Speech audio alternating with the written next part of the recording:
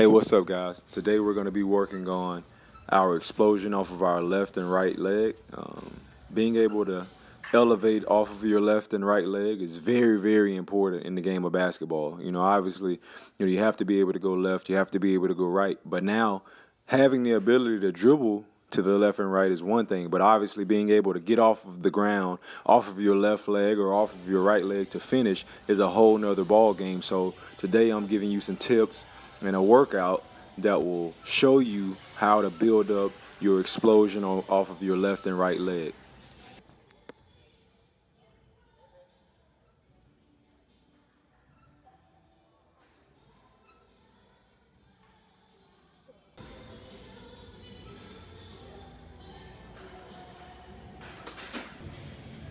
After I've completed all of my single leg work, uh, which was six sets of each, I ended up finishing my workout with two feet box jumps. Um, also, as you see, I'm ball ripping uh, to work my abs and, uh, you know, work on a quicker ball while working on your explosion overall as an athlete.